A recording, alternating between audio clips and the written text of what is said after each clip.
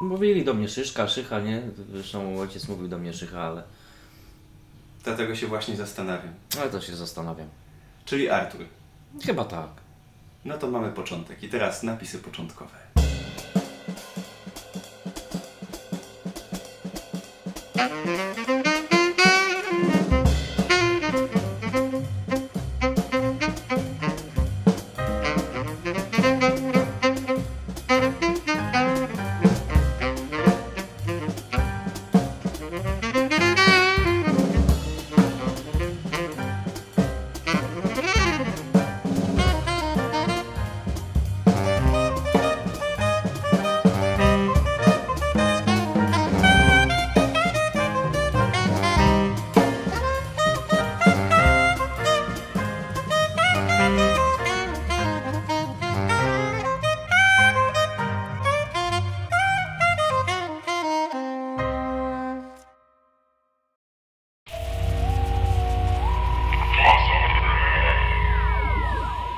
Witamy serdecznie po reklamie. Jestem tutaj z gościem moim dzisiejszym, czyli Arturem Szyszkowskim. Witam serdecznie.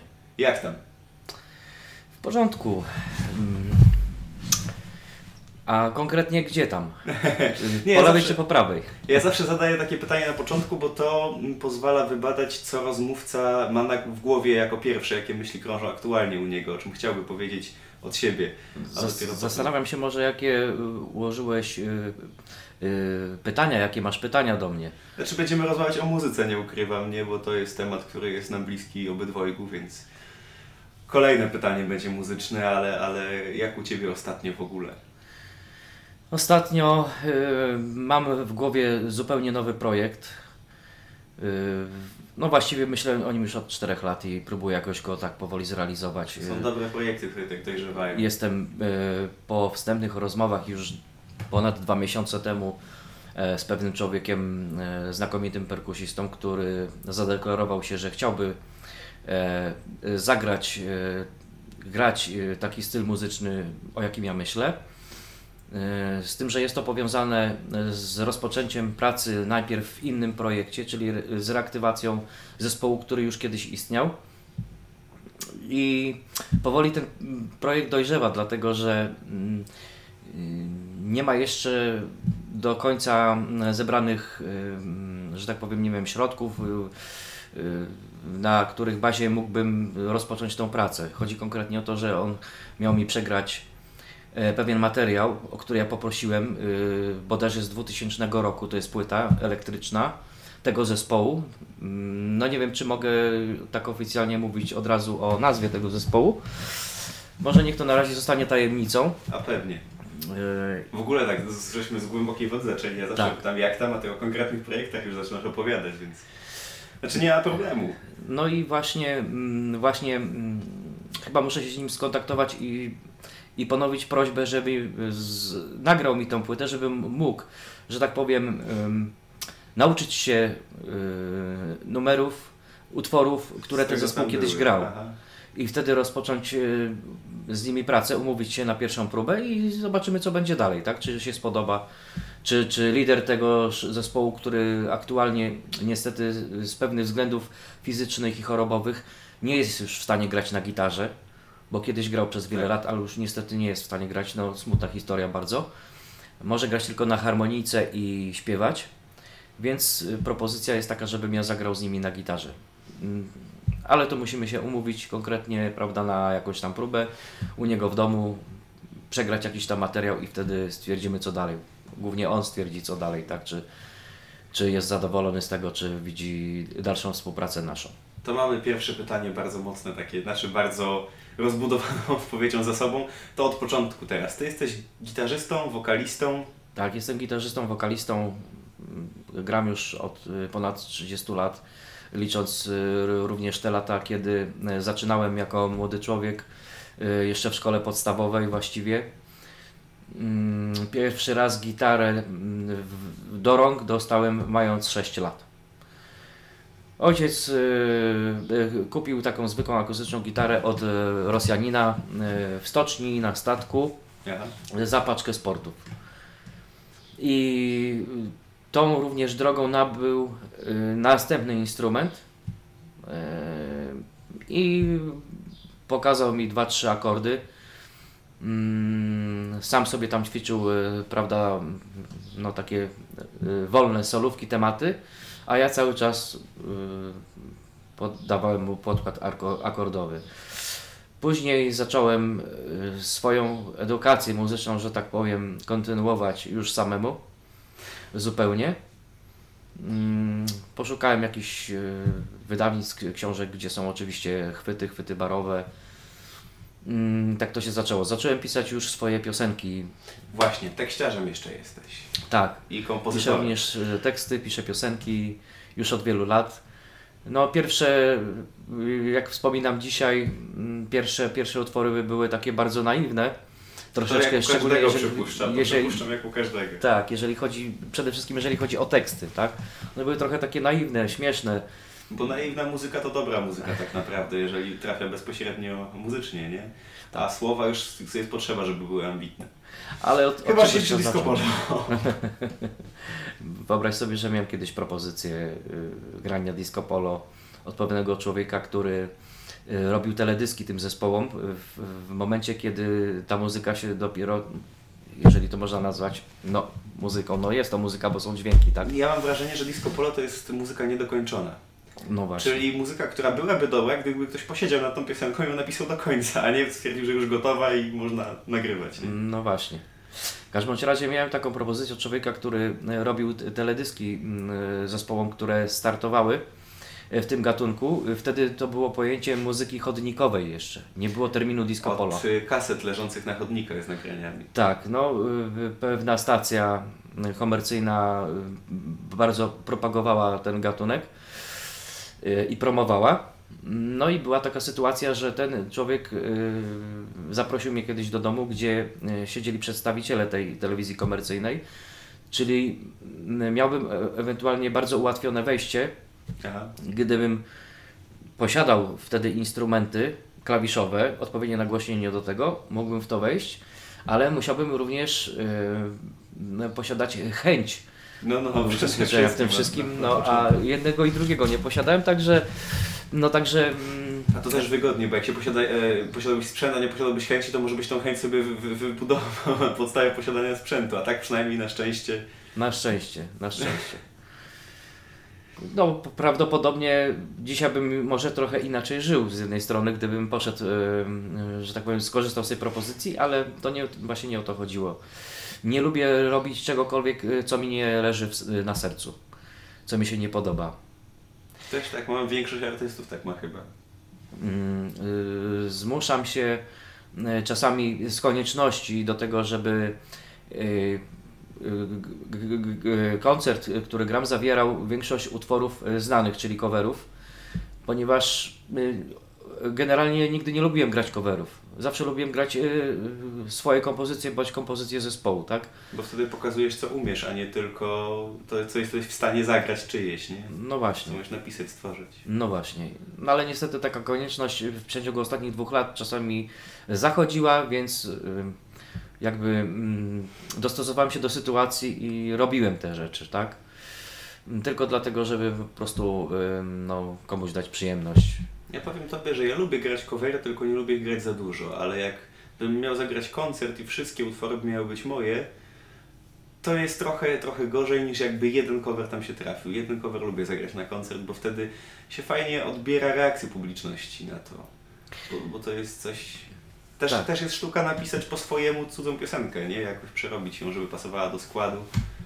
To też jest jednak swój wysiłek wtedy. Zgadza się. Z zespołem Brand, z którym grałem przez wiele lat, mm, y, graliśmy covery na koncertach, ale to były dwa góra, trzy covery. Mhm. I to były piosenki, które myśmy wybierali i które właściwie były przypomnieniem, co dany zespół grał kiedyś w dawnych latach. Mhm. Na przykład Status Quo, tak? Wszyscy y, znają tylko generalnie jeden utwór y, Status Quo, y, komercyjny, tak? In. Y, Natomiast my przypominaliśmy kawałki tego zespołu z lat, z końca lat 60., które były To znakomite. zawsze też jest fajne. Przez to często piosenki odżywają, że właśnie ktoś coveruje piosenki mniej znane z jakiegoś albumu, to się wszyscy orientują, że też były tam. Kiedyś stworzyliśmy sobie taki spe, specjalnie blok trzech, czterech numerów y, różnych zespołów właśnie z- i to były numery z lat końca lat 60., początek 70. i wszystkie miały refren na na na na na. Ale wtedy było więcej tego, prawda? Jakoś Wtedy było tego tak, więcej. Wtedy było sporo takich rzeczy. E, słuchaj, a jak, jak pierwszy koncert z muzykami wspólnie zrobiony przed publicznością?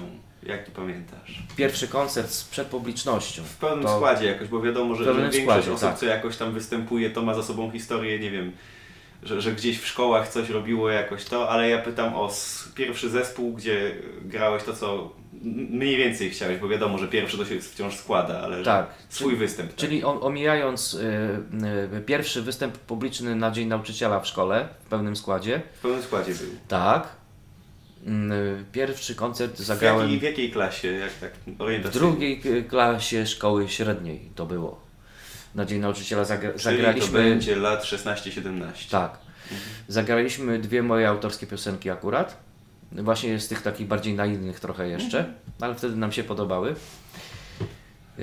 Natomiast y, taki poważny koncert gdzieś tam na zewnątrz, y, Tak. pierwszy jaki zagrałem, y, żeby się dobrze zastanowić. Tak, to już była grupa trash metalowa. Zagraliśmy go w, liceum, w szóstym liceum y, w Gdyni.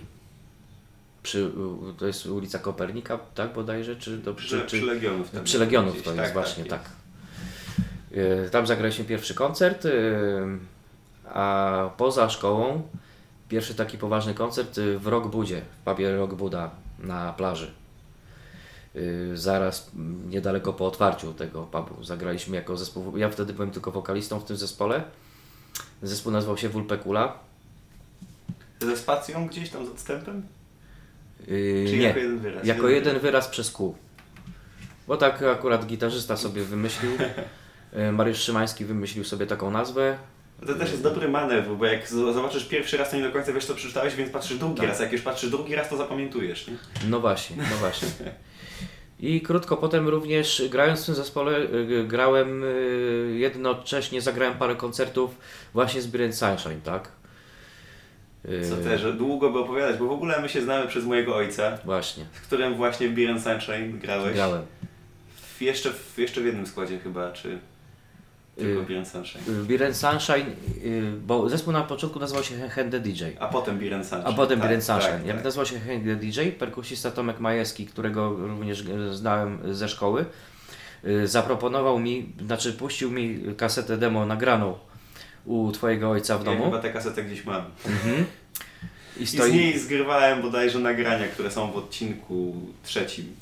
I, Z właśnie z ojcem Mhm. rozmawiam. I z, y, zresztą stoi przed nami magnetofon, na który on nagrywał wtedy te No, no, także tak. Który swoją drogą był u mnie na okładce płyty i w teledysku do pewnego dnia, bo ja lubię trzymać się rzeczy, które dobrze działają, nawet jeżeli mają parędziesiąt lat. O, no właśnie. Yy, I yy, Tomek Majewski puścił mi te mm, nagrania z, yy, z próby yy, nagranej w domu. Yy, O dziwo bardzo dobrej jakości to było nagranie. No i bardzo mi się spodobało. Na- Nagranie o parę otchłani.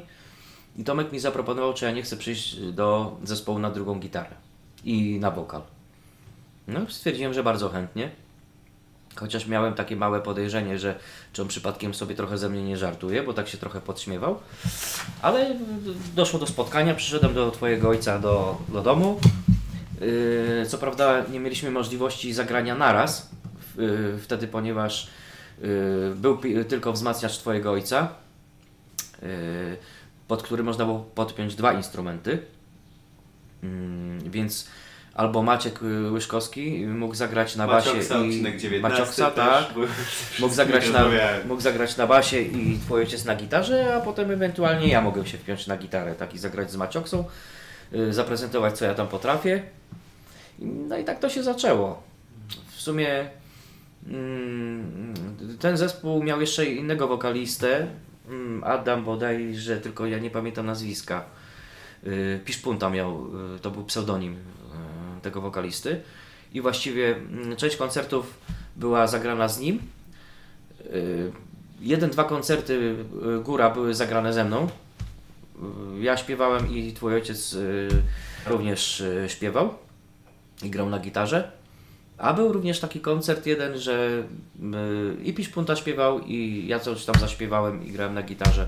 Także ten skład się trochę tak mieszał wtedy. Bo to też y, wydaje mi się, że czasy były takie, że bardziej się y, z, otwarto, z otwartością podchodziło do, do składu, że po prostu kto jest w stanie, to niech będzie, bo, bo korzystamy, żeby, żeby, żeby działać, nie? Tak, oczywiście. Słuchaj, bo z tego co się orientuję całkiem niedługo, za, za dwa tygodnie, jak ten podcast się ukaże, to pewnie za tydzień, znając Mhm. moje opóźnienie z montażami, grasz y, w festiwalu bluesowym. Nie, w tym festiwalu bluesowym nie gram. Ja grałem 4 lata temu na blues festiwalu O widzisz. z grupą Drive After. I tak jak 2000 się robi koślawo research na kolanie. w 2014 roku 2014. tak zagraliśmy y, w niedzielę jako pierwszy uczestnik. Bardzo sympatycznie było.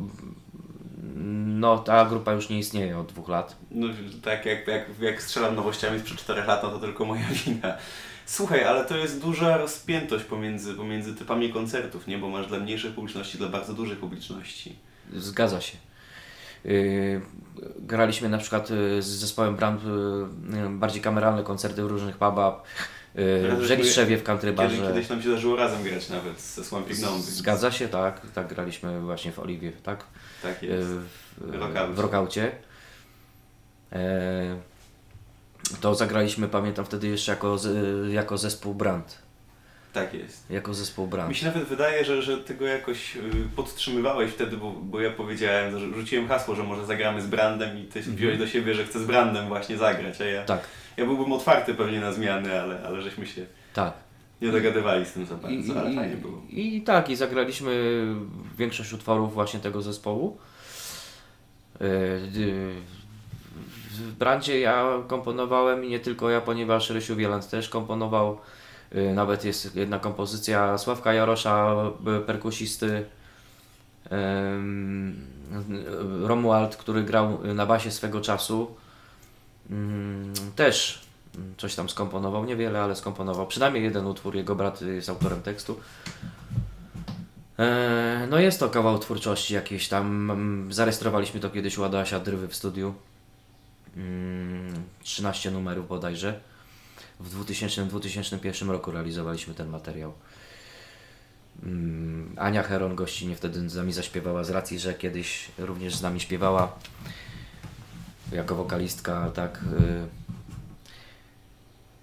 mm, Jest trochę tego, jeżeli chodzi o wspomnienia, prawda? No, można było godzinami opowiadać. To my to sobie usiądziemy, uporządkujemy na chwilę i zrobimy przerwę na reklamę i za chwilę się z Wami słuchacze usłyszymy.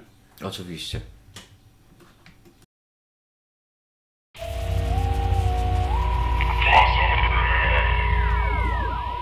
Witamy serdecznie po reklamie. Jestem z, wiecie z kim jestem? Jest z tytułu przecież, że Artur Szyszkowski, prawda? Ja mam nawyki z radia na YouTubie cały czas. Witam serdecznie ponownie. Słuchaj, yy, mówiłeś, że pierwszy koncert to trash metal był. Z ojcem moim też grałeś metalowo raczej. Yy, a teraz grasz bardziej bluesa, blues rocka jakoś? Y, Z zespołem Brantu uprawialiśmy y, właściwie y, muzykę zaliczoną można, którą można zaliczyć do pop rocka, ale nie tylko, bo zahaczała o blues rock, o country rock, mm, o takie gatunki. Mm, Właśnie tak pop rockiem to chyba bardziej jeżeli chodzi o kontakt z publicznością, bo jeżeli chodzi o klimat to tam było to sporo country nawet, takiego właśnie pop country bardziej, nie? Bo tam w pop country jest dużo rocka. Zgadza się, zgadza się. Y, W ogóle na początku zaczynałem od y, muzyki metalowej, trash metalowej i, i, dzi- i ja właściwie uczyłem się techniki y, gry na gitarze na takich utworach.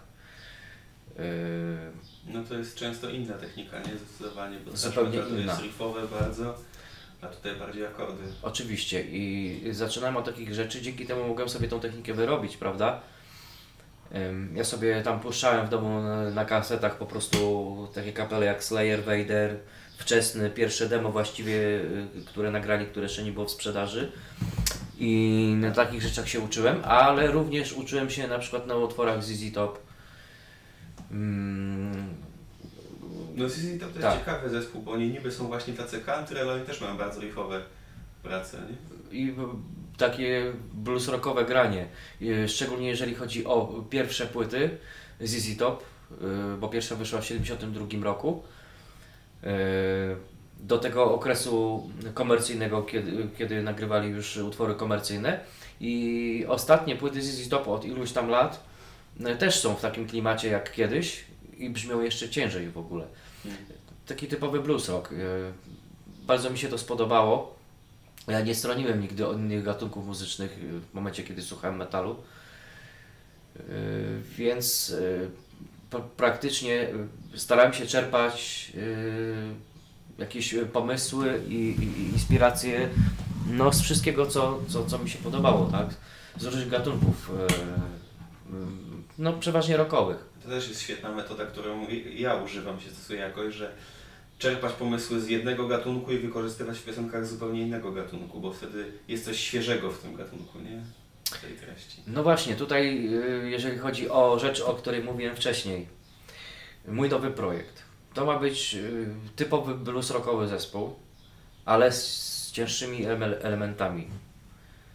Y, Gdzieś tam, gdzie niegdzie wstawki bardziej takie mm, cięższe, gdzieś nuta z, z muzyki death metalowej, może trash metalowej, no chciałbym to połączyć. Wiem, że to jest y, y, trochę trudne y, i tutaj można bardzo szybko tą y, granicę przekroczyć i już to nie będzie bluesem. Ale właśnie no, trudność polega na tym, żeby tak to zrobić, żeby to jednak był jednak blues cały czas. To powinno być w miarę, w miarę logiczne wbrew pozorom, bo taki film był Metal The Headbanging's Journey o właśnie historii metalu i o tym, jak oddziałuje na społeczeństwo. I tam były podane jako źródła metalu takie główne, najbardziej oczywiste. Yy, muzyka klasyczna, europejska, bo skale są bardzo europejskie i wagnerowska jakaś taka monumentalność i, i, i No, zgadza się. Posępność może nie zawsze, ale jakaś taka moc i potęga, o wrażenie potęgi jakiejś. A z drugiej strony blues i właśnie co mnie dołuje, co mnie boli, nie? Więc Tak. blues jest jednym z potężnych korzeni metalu, więc to jest w miarę naturalna ewolucja, jak trochę jak spotkanie dziadka z wnukiem, nie? Oczywiście. y, Nuty metalowe, jeżeli chodzi o same dźwięki, możemy y, usłyszeć y, słuchając, znaczy o masło maślane. Nie, bardzo ciężko jest, y, znaczy zdarza się, że się słucha czegoś i wcale się nic nie słyszy, nie? Więc to są dwie różne rzeczy. Y, Takie, takie rzeczy są zawarte na przykład w czterech porłach roku Vivaldiego, tak? A są absolutnie. Co grał piękne. y, gitarzysta metalowy Ulion Roth, nazywany Białym Hendrixem. Mhm. Co grał cały koncert właśnie 4 pory roku na gitarę elektryczną. No coś pięknego, tak. To bardziej oczywiste się robi wtedy. E, Taki japoński gitarzysta y, grał, y, nie pamiętam teraz jaki temat, ale coś z czterech pół roku na koncercie z Żanem Michelem Żarem, też pamiętam. Y, Bo oglądałem takowy koncert, interesowałem się kiedyś również i muzyką Żara i, i, i elektroniką niemiecką, tak, starą, czyli Klaus Schulze, Tangerine Dream i te rzeczy. Kraftwerk. Kraftwerk też, Mm, chociaż on troszeczkę tam odbiega od nich. Mm, No, no, no, tyle na ten temat. A jakbyś y, dostał odgórny budżet jakiś i miał sobie nagrywać coś, to w, jakim, w jakiej stylistyce byś chciał? Coś swojego takiego bardzo? Myślę, że właśnie to, o czym powiedziałem, właśnie y, zrobić taką muzykę blues rockową Czyli to w tym momencie, tak. taki projekt, który był długo, mówię, że 4 lata w przygotowaniu, ale on wtedy wychodzi z jakoś wcześniejszych potrzeb. Z wcześniejszych inspiracji. No właśnie. Y, Natomiast y, same utwory mm, do tego projektu w głowie zaczęły się rodzić no, dość niedawno. Po rozmowach z, perkusistą, o którym mówiłem, z takim Aleksem. Y, I no, zacząłem je przygotowywać powoli w domu, tak, te, te utwory. Jeszcze nie są skończone, jeszcze nie mam tekstów. Najpierw, tak jak mówiłem, musimy się spotkać z kolegami i zacząć ten inny projekt, żeby uruchomić mój projekt. Taka jakaś no, dziwna zależność nastąpiła, no może tak być. Znaczy ma to sens, wiesz, to ja, sens. ja odkąd się zająłem muzyką, tak, bo wiadomo, że ja z Tak. muzyką kontakt odkąd pamiętam to mam, ale od kiedy się zacząłem zajmować swoją muzyką, tworzyć muzykę jakoś, to chciałem realizować projekty przede wszystkim związane z treścią jakąś, że miałem pomysł na jakąś, może nie opowieść zawsze, ale na, na jakąś historię i do tego sobie budowałem, jakie piosenki, jaka muzyka tam mniej więcej ma być. I zanim zacząłem, jak zacząłem płyty nagrywać, to byłem w środku koncertowania ze Słambigną właśnie. Mhm. I no, płyta się ciągnęła 6 lat i pewnie jakbym nie grał Swamping Dome, to na pewno bym wtedy tego nie zaczął, bo dużo muzyków ze Dome jeszcze grało ze mną na, na płycie mojej. A jak ją kończyłem, to już miałem to daleko za sobą, ale, ale też jest właśnie, że, że jedno wychodzi z drugiego bardzo. Tak, wszystko się zazębia. Ja zresztą mam jeszcze wiele takich różnych, mm, że tak powiem, e, wspomnień związanych z muzyką, e, z twórcami, mm, bo to nie było tak, że nagle zrodził się zespół tam, że, że skrzyżnęliśmy się z kolegami i robimy zespół. Nie zawsze tak było. Mm, cała zabawa zaczęła się właściwie z jedną osobą, z moim kolegą, który mieszkał klatkę obok w moim bloku. I myśmy w podstawówce zaczęli w ogóle cokolwiek kombinować, jeżeli chodzi o muzykę. Mm, ja miałem wtedy tylko gitarę akustyczną, on y, kombinował sobie jakieś tam instrumenty perkusyjne. Y, miał na przykład y, pudełko jakieś takie duże plastikowe od, od kawy ponieważ jego ojciec pływał, to miał pudełko od kawy, które właściwie wygląda jak dzisiejsze pudło od, od farby jakiejś, tak? 10-litrowe. E, potem sobie zaczął kombinować e, jakieś. E, stworzył swoje własne konstrukcje. Ja posiadałem mikrofon MDU 124, to był taki unitry polski mikrofon stereofoniczny do nagrywania Y, który był rozdzielany. On był na stojaku, ale można było go rozdzielić i po prostu sobie te kanały rozszerzyć. Y, więc y, jedną część. Jednego się miało wtedy dwa mono. Tak. I jedną część on sobie na przykład przyklejał do podłogi i pukał w podłogę i była wtedy stopa. Aha. Natomiast... A się sprzedaje, takie są y, ma, malutkie pudełeczka z wejściem na jacka i to jest mm -hmm. stopa elektryczna. Mm -hmm. a, drugą, a drugą połówkę przyklejał mi na przykład do mojej akustycznej gitary, podłączał do wzmacniacza domowego Kleopatra, no i żeśmy sobie grali już y, sami dla siebie koncert jakiś tam, tak. Tak to się zaczęło. No i później właśnie nasz skład się rozszerzył. Zaczęły się już poważne rzeczy, zaczął się trash metal, potem y, funky, rock,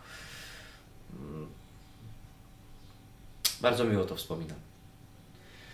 A poza metalem i bluesem, czego słuchasz najbardziej? Mm, wielu rzeczy w sumie. Bardzo uwielbiam słuchać muzykę bardziej akustyczną, tak? Z wykorzystaniem instrumentów akustycznych. Pierwsze trzy płyty Katy Melua na przykład. Y, Mark Knopfler, solowy, podaje Straits już. Y, przepiękne utwory.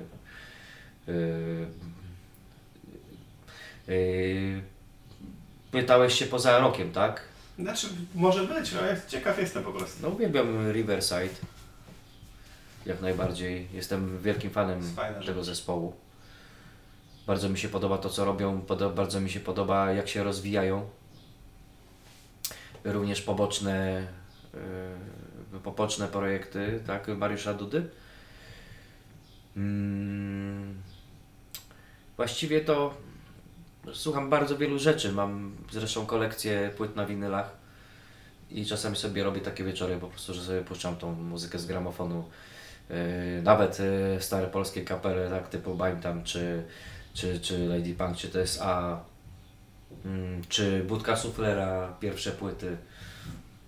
Się bardzo boję teraz, bo mam swój debiut trochę za sobą i te pierwsze płyty często mają takie jakieś e, iskrę w sobie. Nie? Mhm a kolejne ją powoli tracą. Więc się boję, jakie będą następne rzeczy, które nagram. Ale... Niekoniecznie. Bo nie musi tak być, nie? Tak nie często jest tak przez być. to, że wytwórnia jest i że się pisze, ponieważ jest przymus, nie? A... Tak. No. I to jest właśnie odpowiedź dla wszystkich tych fanów, którzy się pytają, kiedy będzie druga płyta, jak iskra się znajdzie. Myśmy wydali sobie taką epkę jeszcze z zespołem Drive After, zanim się rozpadł e, dwa lata temu. E, tam jest pięć utworów e, na tej epce, też u Adasia Drywy. Nagry, nagraliśmy dlatego, że mam do, zaufanie do tego człowieka i jest świetnym kolegą, świetnie się z nim pracuje, jest świetnym człowiekiem i można u niego w studiu e, zrealizować naprawdę bardzo wiele. Bardzo wiele, tylko trzeba wiedzieć, czego się chce, jak to zrobić, jakie chcemy mieć brzmienie i naprawdę jesteśmy w stanie uzyskać u niego naprawdę bardzo profesjonalne brzmienie. Bardzo. Na, naprawdę na poziomie no takim światowym. To tak. Nie, nie boję się y, użyć tego słowa. Ufam Tobie, ufam, ufam w to, co mówisz. Można y, obejrzeć, y, że tak powiem, teledysk zrealizowany do jednej z tych piosenek, która się nazywa Droga na YouTubie, czyli Drive After Droga, także zapraszam do obejrzenia. To jest fajny tytuł, jak się przetłumaczy, nie? Tak. Jedź za drogą, nie? Będzie razem wtedy jakoś.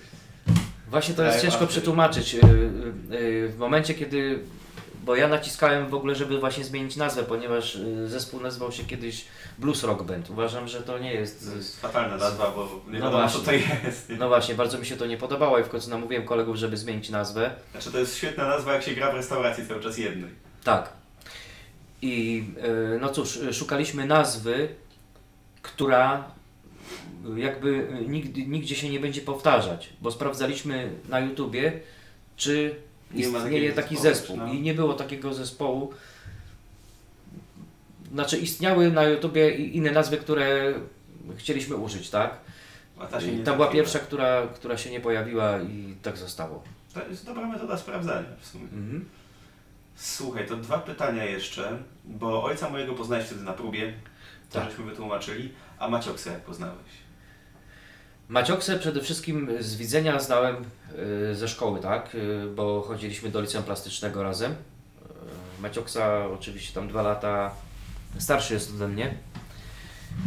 I ja Macioksę poznałem osobiście tak naprawdę na próbie u Twojego ojca. Tak to było, bo znałem Bo- tylko Tomka Majewskiego. Tak, tak, bo on chciał. Tak. I Tomek Majewski mnie zaprosił na próbę, ja wtedy Macioksę poznałem na próbie u ojca.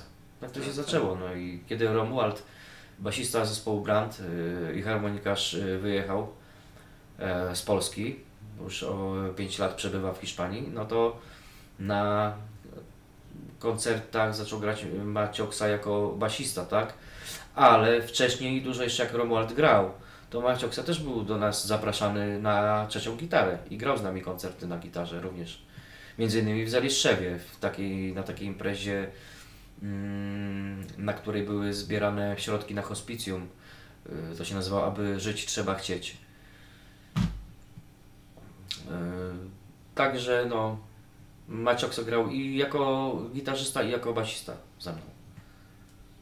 W składzie zespołu Brand i myślę, że teraz też zagra niedługo. Tekstów też trochę pisał, czy nie? Y, Wydaje mi się, że y, moc, mocno pamiętam, że sporadycznie przynajmniej coś tam się działo, może muzyka.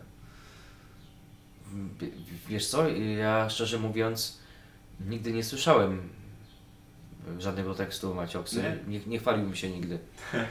A natomiast Mi się wydawało, że razem pisaliście o dzieciństwie, o Bleku, coś o... Nie, nie, nie, nie. To, to, to, to był, y, jeżeli chodzi o tekst, tak? Mhm. Okoliczności powstania tego tekstu były takie. y, Ja to puszczę wam słuchacze, żebyście wiedzieli o czym rozmawiamy. Tak.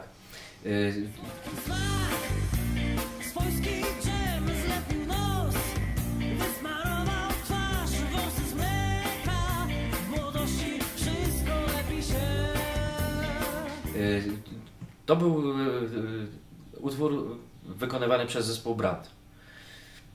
Ja napisałem ten tekst y, trochę wcześniej, jakby na zamówienie, ponieważ mm, pracowałem kiedyś swego czasu w sklepie Interton na Abrahama i tam miałem styczność z różnymi muzykami. No jest taki człowiek Tomek Zabiegałowski, taki wokalista popowy, który tam swego czasu próbował przez krótki moment y, z Chojnackim coś tam zrobić, ale mu się nie udało. Wiem, że do dzisiaj coś tam śpiewa. I on mnie poprosił swego czasu właśnie o napisanie tekstów. Przyniósł mi demo, ja napisałem na niego, dla niego dwa teksty. Ale nie usłyszałem żadnego, że tak powiem, echa że- y, nigdzie, żeby wykorzystał te teksty, dlatego postanowiłem je trochę zmodyfikować, skrócić do swoich utworów, na swoje własne potrzeby.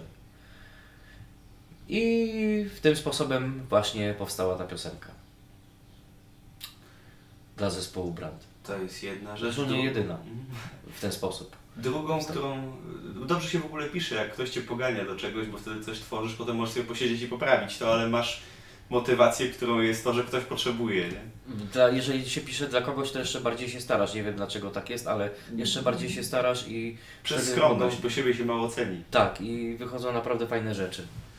Yy, jeszcze bardzo lubię piosenkę Miasto po sezonie, A, to jest. bo y, ma refren bardzo chwytliwy, właśnie Na, na, na, na. rozmawiali dokładnie, na, na, na, na, To jest Rysia Wielanda piosenka. To jest Rysia Wielanda piosenka. W sumie jego piosenki myśmy zawsze wspólnie aranżowali, jeżeli chodzi o muzykę, tak? Tak. On zapodawał, że tak powiem, akordy, myśmy aranżowali, ale teksty są jego.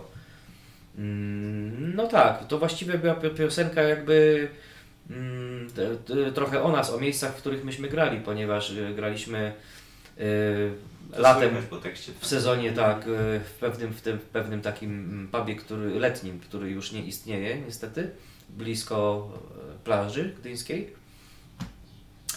I kiedy, mm, kiedy kończyły się wakacje, zaczynał się rok szkolny, za, za, zaczęła się praca, tak? Yy, No już te, te miejsca waliły tak trochę pu- puchami, tam już prawie, że nikt nie przychodził, były takie te puste krzesła, już, już powiewał ten wiatr taki jesienny trochę. Tak jest, że jeszcze no nie zamykamy, bo Tak. jeszcze może ktoś przyjdzie, No ale już się jest I o, przymierające. tej, Tak. I o tym jest ta piosenka, o tej sytuacji konkretnie. Tam jest tak jakby zatrzymana jedna chwila w tym tekście, można powiedzieć. A jaka jest, tu będziemy powoli kończyć dzisiejszy odcinek, jakie jest dzieło Twoje, które najbardziej, z którego jesteś najbardziej dumny?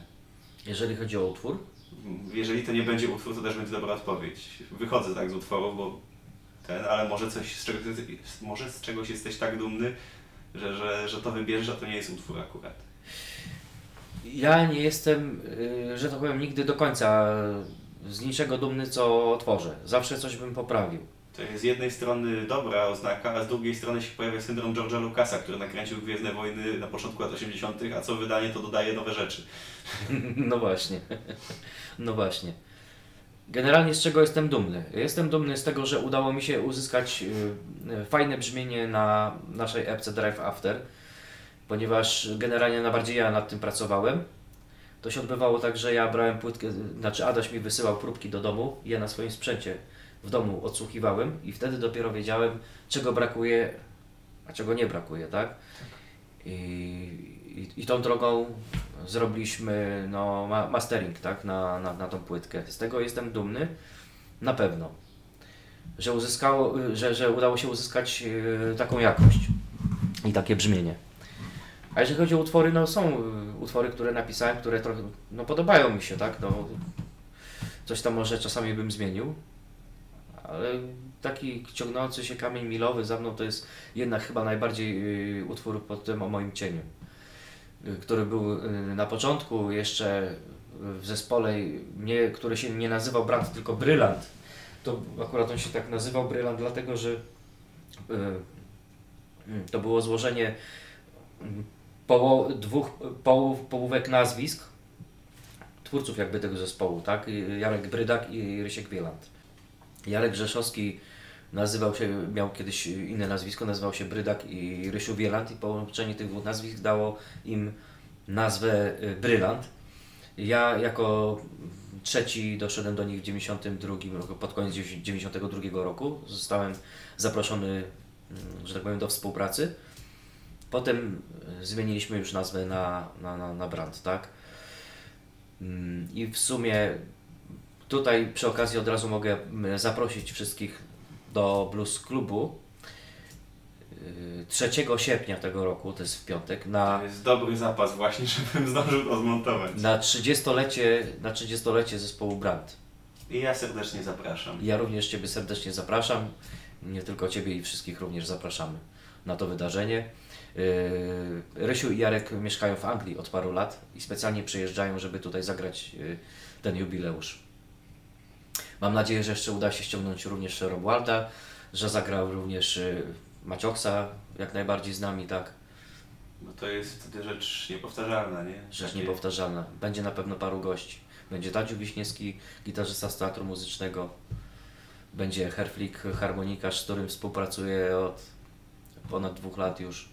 Więc jak sami, jak sami słyszycie słuchacze, to jest rzecz, która jest jedyna w swoim rodzaju, niepowtarzalna i wyjątkowa. Tak jak goście mi czasami zapraszają na koncerty, na występy, tak to jest coś więcej, więc znajdźcie czas i przyjdźcie. Słuchaj, a chciałbyś coś ze mną zagrać na zakończenie? No myślę, że tak. To zrobimy, Zróbmy. zrobimy Coś krótką wspólnie. przerwę na reklamę i po reklamie zagramy jeszcze jakąś piosenkę, tylko ustalimy sobie co. Do usłyszenia za chwilę. Do usłyszenia.